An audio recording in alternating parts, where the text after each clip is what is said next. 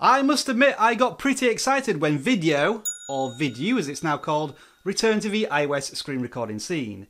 In that video I didn't have a chance to do a deep dive, so let's do that right now. This is everything you need to know about Vidiyu.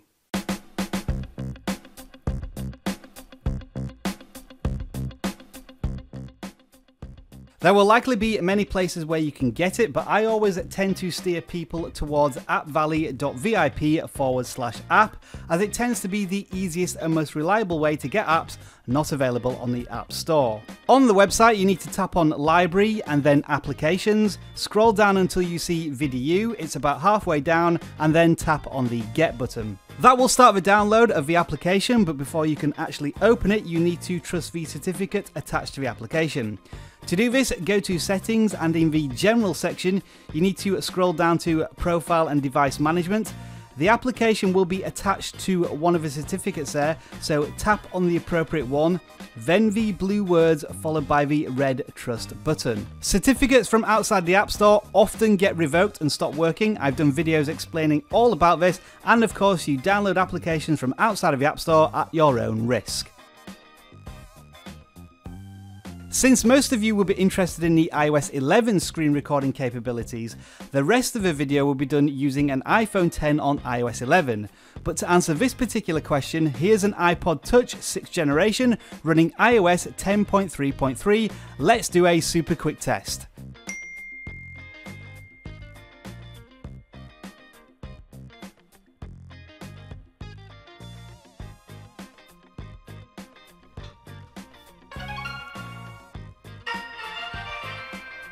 Yep, all looks good, and apparently it also works on iOS 9.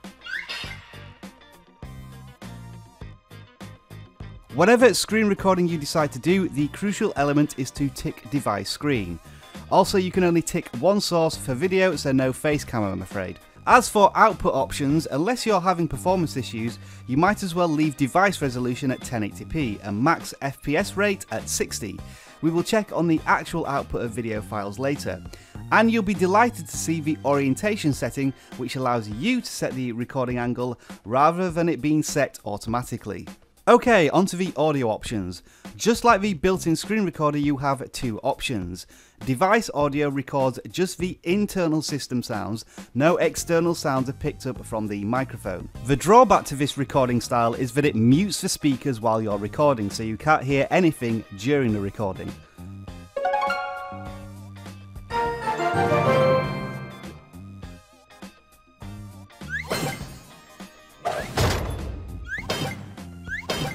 Okay, let's switch it to an iPhone microphone recording and listen to the difference. Recording through a microphone is a lot more straightforward. You can hear all these system sounds as you're playing games, although it might not play music.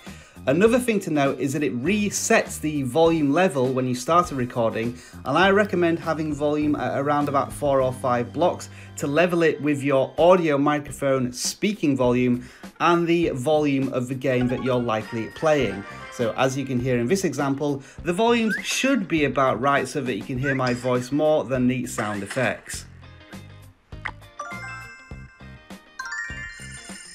Now let's do a quick walkthrough recording. With your recording option set in video, tap start in the top right hand corner and then tap done. A message will say video is ready. Now bring up the control center and go to screen mirroring where you will see video. Tap that and the recording will start and make a beep noise to indicate that. Use your device as normal until you are ready to finish. When you are, go to the control center again, tap on screen mirroring and then tap stop mirroring and audio prompt will say this. Recording complete. You can now go to your photo app where you should find the recorded video where you can play it, edit it and upload it to YouTube. Now for some device health and safety pointers. If this message is on screen, that means the AirPlay service for video is still running even if you are not recording and you have exited the app make sure to tap the stop button within video to stop the AirPlay service running. Secondly, even after you have stopped screen mirroring, video may be doing some weird things. On the lock screen for example, it may look like it's playing a strange audio track. To get rid of this, you will need to completely close down the video application through multitasking. If you forget to do any of this, you'll soon find out because video absolutely destroys your battery. This is a microphone audio recording of Clash Royale on an iPhone 10 of about 3 minutes. On the surface, everything looks generally good. The image is sharp, there don't appear to be any lost frames, and for a microphone recording, the audio is pretty clear. There's further good news in the file properties too. A recording resolution that matches the maximum resolution of a device screen and a super high frame rate, although you can't fully appreciate it in this video as my video editor is capped at 30 frames a second. Thanks for that, Camtasia. Now, there are one or two gremlins with this recorder. First of all, when I transferred a system audio recording over to my computer, I lost the audio completely. Probably not a huge issue for most, as the built in screen recorder for internal audio recordings works fine anyway. The bigger problem, however, is the audio sync on microphone audio recordings. The developer stresses that when you end a recording, you should stop screen mirroring first before stopping the video recording session. Despite doing that, you can see and hear on this video the around half second audio missync. To better illustrate in my video editor, when I line up the camera recording and screen recording frame by frame, you can see how offset the audio is on the screen recording. In general, there seems to be a compatibility issue with MOV files that Vidiyu creates. When I import the raw files into my video editor, it grinds the whole program down to a snail's pace, and when I play the raw files in a video player on my computer, you get this strange green blurring, artifacts and ghosting effect, very similar to the Airshou issues from way back when. So it might be back to the classic solution of importing the video screen recording into an editor, making no changes and then exporting it out again. But that kind of defeats the object because you can do the same thing with native iOS 11 screen recordings to fix the microphone issue. I've clocked file recording sizes at around 40 meg per minute at the top resolution and 60 frames a second, but of course that could vary from device to device. Previously, Vidiyu had a problem where it would kill the Wi-Fi on your device when you started a recording.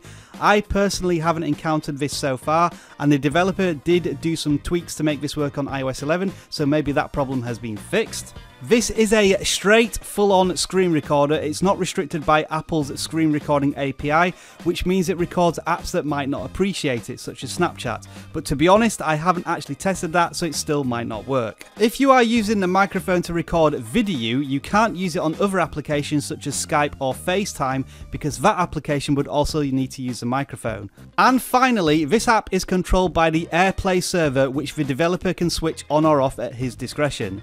So if you suddenly don't see device screen as a recording option in video, the AirPlay server isn't on. And that's almost everything you need to know about video. I say almost because I always miss something out in these videos, or there'll be some wise guy in the comments pointing something out. Anyway, I'm going to post this video to the developer so he can keep an eye on it, maybe answer some of your questions if you post them in the comments below. If you enjoyed this video, don't forget to give it a thumbs up, and if you want more iOS screen recording content just like this, subscribe to the Video Gadgets Journal, let me know what you think of video, enjoy the rest of your tech day, bye for now. Also, because of time restraints, I've stopped doing these little bits after the outros. Was anybody watching them anyway?